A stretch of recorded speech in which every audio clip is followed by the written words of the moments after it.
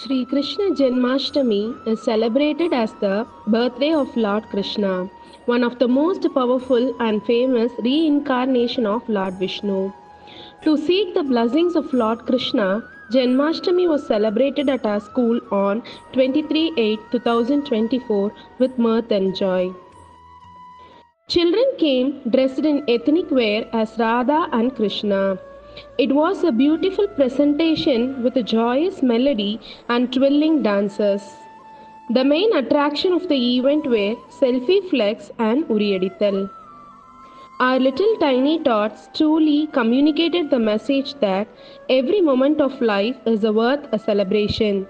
The more you prize and celebrate life, the more there is in life to celebrate.